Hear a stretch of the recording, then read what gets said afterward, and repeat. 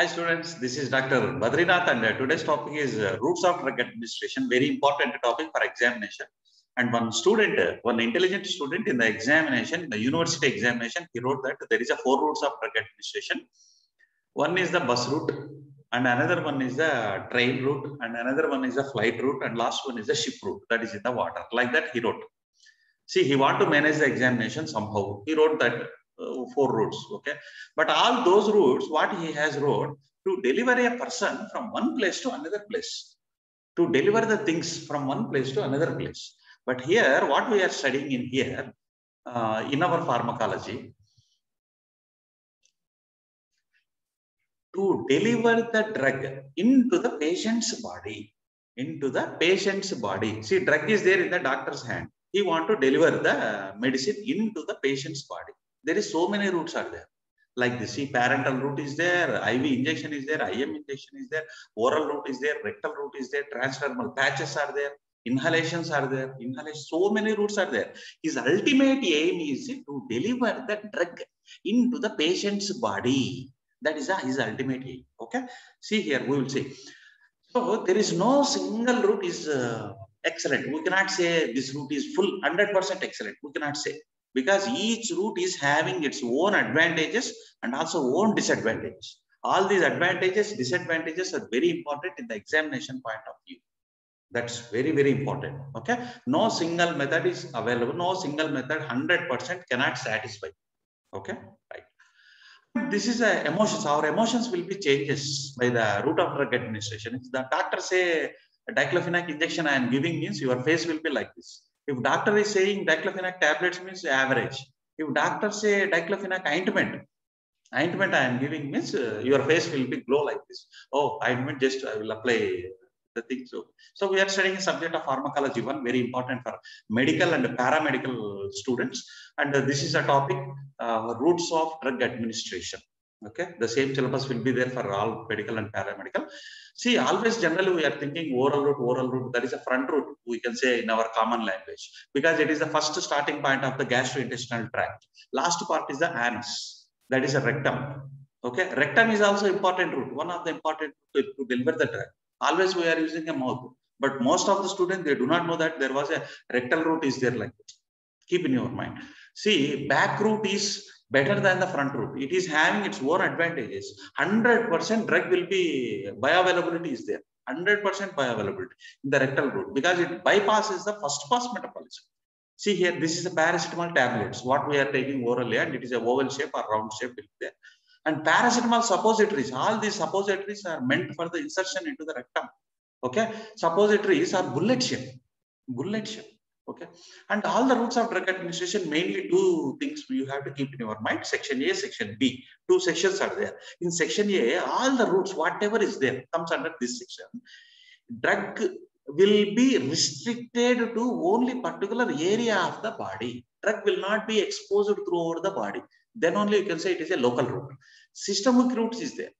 Drug will be delivered throughout the body either it is necessary or unnecessary. Whatever it may be it is not the thing here drug will be just like a roaming. Drug will be uh, roaming in the throughout the body. It will be roaming. Drug is unnecessarily exposing to the areas where those areas actually doesn't need the drug also, but drug is exposed. That's why toxicity is more. Systemic toxicity is more. Drug toxicity is more. Where uh, when compared to this route. Okay, all these points are very important. And here you can see the classification as per the pharmacology book. Okay, that is a seventh edition of the KD Tripathi book.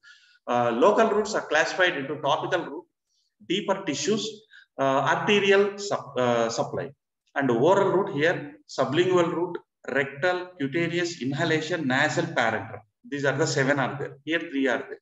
Okay, uh, the star mark are important, and red line is a common. Common. It is for using for the both systemic delivery as well as the local delivery also. For example, say suppositories. For example, say cutaneous and inhalation, so nasal, they are using for both local delivery as well as a systemic delivery. However, you, you can design the dosage form according to that only, right? So topical route, uh, we will see all these routes one by one. Topical route means uh, these top, these are the important star marks. All star marks are important. Okay, skin, nose, lung, topical route. First one. This is a local route. External application of a drug to the surface, only to the surface. It is a convenient, it is a comfort, and it is encouraging for the patient. You will feel very happy, doctors. And here you can see the skin, nose, eye, ear. All these, like the lotions, liniments, creams, uh, ointments, gels, all these. See, lotions, ointments, all these comes under lozenges. See, lozenges means here strepsils. You are going to achieve the strepsils. So it will be local action. It shows the throat. Local action it shows. That's why it comes under the local only. Even though you are taking a tablet, you are uh, just achieving the tablet. Okay, that achieving lozenges, it shows the local action. Okay, and rectum suppository. This is a suppository. It's a bullet shape. Bullet shape is people. Okay, and vagina pessaries. All these pessaries inserts meant for the insertion into the vagina and deeper tissues. Most of the students are confusing that all the injections are parenteral. No, in the examination point of view, keep in your mind, there is an intra-articular injection, intrathecal injection, and retrobulbar injection. All these are local only, local, local, local, local. They are not called as a parenteral, you can say. You can say, not parent. It doesn't, drug will not enter into the systemic circulation. Approached by using the syringe and the needle, drug will be accumulated locally and here you can see intra-articular into the knee joint, they will uh, deliver the drug. Example is also hydrocortisone acetone and uh, intrathecal injection like a lidocaine for the anesthesia, general anesthesia like that. And retrobulbar be, behind the eyeball, okay, hydrocortisone acetate. Okay, like this. All these injections comes under local only. And arterial blood supply. See, intra-articular is different. Here see here this is a intra-articular. Articular this is a layer of the articular. Okay articular layer. Intra-arterial is different. Artery means we know very well. Artery means blood vessels. So these here what happened directly drug is giving to the artery. So it goes to the local only. For example uh, limb cancer, local limb cancer malignancy, drug will be injected to the artery. Arteries will supply the blood to only to the restricted area. See, whereas intravenous injection is very popular. If you are giving an injection to the intravenous, it goes to heart. All veins are goes to the heart. From there, it will be rolled throughout the body, throughout the body. But here, artery, that's why intra-artery injections only to the restricted area only. For example, say cancer. Suppose a patient is suffering with the cancer, malignancy. Anti-cancer drugs are generally they are using for this. Very, very important bit in all competitive examination. Anti-cancer drugs they are using to the artery. So suppose the liver is full rich of uh, cancer cells. They will give to the artery injection to the artery. Which artery? The artery will go to the liver only like that. Uh, this is a oral route, very uh, easiest uh, method, oldest route, commonest route, safer, more convenient, need not for any assistance. It doesn't require the any, uh, this are non-invasive. There is no puncture like a parenteral here. Non-invasive means puncture. Invasive means puncture. This is non-invasive. That's why it is a painless. Painless. Medication need not to be sterile. Need not to be sterilized. All the your medication tablets and all need not to be sterilized tablets you can be prepared in a hygienic area that you can be take it. Cheaper uh, oral solid dosage forms like a tablets powders so capsules oral liquid dosage form. Here disadvantages is that slow drug action will be there not suitable in emergencies emergency parenterals only okay? And unpalatable taste will be the problem like a chloramphenicol. Taste is not good so we cannot uh, take it. And it may causes nausea vomiting also. Uh, some drugs are will not be absorbed through oral route like insulin. And some drugs will be destroyed by the gastric juice in the stomach. So like a penicillin g. And we cannot use it for unconsciousness patient coma patients uncooperative patients. We cannot be using and absorption may be variable. So all these are the oral route dosage form. Uh, you can know that syrup, soft gelatin capsules, spansules, okay all these you know. And sublingual or buccal tablets. This is very very important in case of heart attacks. Heart attacks this route is widely used. Nitroglycerin they are keeping under the tongue. Nitroglycerin. See here nitroglycerin for the heart problems. Heart problems they are using. Sublingual tablet. Subling sub means below. Lingual means tongue. So below the tongue they will keep buccal it's a buccal see here tablet is adhered to the buccal cavity see the buccal tablet like this they will adhere are sublingual excellent routes are there they will bypass the first pass metabolism directly they will enter into the systemic circulation that is a benefit of this Okay, drug is directly absorbed into the blood. Only lipid soluble non-irritating drugs can be administered through this route. It is a, one of the good route. Instead of swallowing, it will be restricted only to this area. And this is also a buccal tablets. Uh, here the tablet is uh, adhered to the, uh, here you can see fine. Mm, gum, gums And rectal route, very good and very excellent route actually. Uh, but it is bypass is the first pass metabolism, high bioavailability will be there. Unpleasant drugs, tasteless also drugs also you can prepare in suppository form also like chloramphenicol. Used in patients uh, when patient is even though he is unconscious or coma patients also can be used insertion into the rectum like this. It looks like this. Okay, here diazepam, paracetamol, suppositories are there. Inconvenient and embracing route okay. Unpredictable absorption of the that is also one of the disadvantage of this. And cutaneous, most of the foreigners will like this. Actually, we are taking tablet, we are liking tablets, Indians. But in foreigner, they will like this cutaneous patches. It is see here patch, the drug will be there, the drug will be entered into the epidermis and dermis and hypodermis and blood drug will be. For example, nicotine patch. This example you have to write in the examination. It is also bypasses the first pass metabolism. It is also very good. Very good. I will prefer this also. Okay, like a gel ointments, you either you can be rub it, so it will be absorbed into systematic circulation or adhered to the skin, like a transdermal patches. And inhalations means that you know very well. Inhalation through the lungs only. Lungs is uh, having a greater surface area because it is a, it looks like a bunches, alveoli. All these looks like alveoli. Lung is having a greater surface area. Each alveoli is exposed to the blood like this. See here, alveoli. Okay, vast surface area of the alveoli. That's why this is also very good. You can deliver two types here, local as well as the systemic action. Both you can be achieved. Uh, inhalation, drug is entered into the systemic circulation via the lungs, like atomizer is there or nebulizer is there. Uh, you are going to inhale. So drug will enter into the lungs. From the lungs, it enter into the systemic circulation. And the nasal route. Nowadays, nasal route they are using for the both local delivery as well as the systemic circulation. That's why this is also very important. Here, it crosses, it doesn't cross the blood-brain barrier, but it enters directly into the brain. That is a speciality of this route. Special, this route is special, special, special, nasal route. Here, see here, drug is directly enter into the nerve, olfactory bulb is there. Drug is enter, see, brain, this is a brain. This is a blood-brain barrier here. You can see the blood-brain barrier. This blood-brain barrier is not there here because uh, drug whatever you have given it directly exposed to the olfactory bulb. From olfactory bulb directly it enter into the brain. So drug it bypasses the blood brain barrier also but it enters into the blood.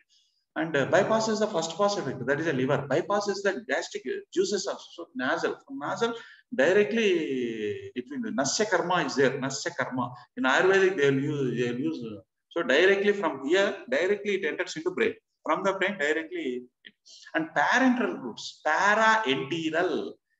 Para means parallel, entera means intestine. So this is the enteral route, tablets and capsules. This is parenteral route. So all these drugs will be absorbed from intestine. See here. That's why this is called enteral. This is parallel to the enteral. Drug is, see here, like this we are giving. Directly into the blood.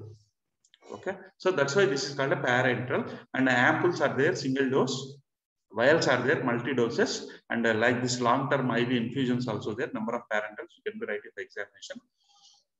So administration by the injections, needles we need, faster and surer action, compulsory, sure 100% guarantee action will be there, valuable in various emergency cases. Drug is directly enter into the blood and systemic circulation, uh, bypasses the first pass effect, 100% bioavailability will be there, especially the IV injection and uh, by, uh, no gastric irritation of drugs like no nausea, no vomiting because you are not taking orally. Okay, it is having uh, some disadvantages also. It needs the expert because uh, it cannot consume like oral tablet. We cannot consume. It needs the sterilization also. You have to sterilize before it. It should be. You have to ensure that it is free from organisms. Then only it can be give it. Like that, so many chances of injuries there. These are the different angles that you know very well. Intramuscular injection, 90 degrees. Subcutaneous injection. Uh, it enter uh, into the near to the skin. Subcutaneous. Cutaneous means skin. Sub means below.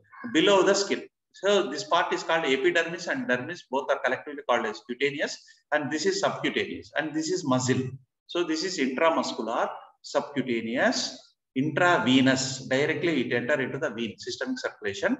Intradermal, it is it will be there in the derma. So all these are the different uh, things. Uh, subcutaneous injection like this, you have to hold the position so that your skin will be comes like this so lifted skin fold like this. You have to hold the lifted skin fold uh, easy to. Otherwise, it drug may, there may be a chance uh, drug may enter into the muscle also. Okay.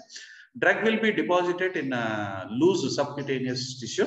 Hence, irritant drugs cannot be used because it is rich with neurons.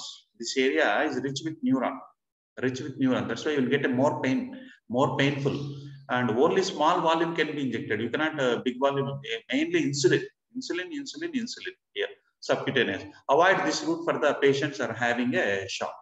And intramuscular injection means directly into the muscle like this, 90 degrees angle. See the here, 90 degrees there, 90. Drug will be entered into the muscle. Uh, these are the muscles what we are going to be select like a deltoid, triceps, uh, gluteus maximum, rectus femoris. These all these are very important in all the competitive examination. Muscles are very less rich supply with the neuron. That's why pain is less here. Whereas in subcutaneous, neurons are more. That's why the patient will feel the pain. Whereas in uh, muscle, no pain. No pain, almost no pain because nerves are less. Okay, oil injections are uh, very less slowly absorbed. See here, uh, aqueous injections absorb faster than the oil injection. Okay, uh, but these are you should not be given to the anticoagulant. If the patient is under the anticoagulant, in such a cases you cannot give this type of injection because there may be chances of hemorrhage and we came to the almost last that is intravenous injection here you have to take care of the air bubbles uh, intravenous means that is also called a bolus means a lump. Infusion will be there. That is for a long term if you are like a 500 ml 1 liter. Drugs reaches directly into the systemic circulation blood route.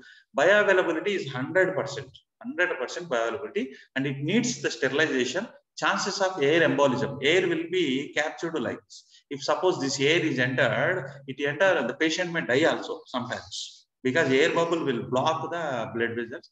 It is very difficult to draw that uh, blood again and all that it goes to heart and uh, somewhere it will be blocks the blood. So there is no blood supply because air bubble is there.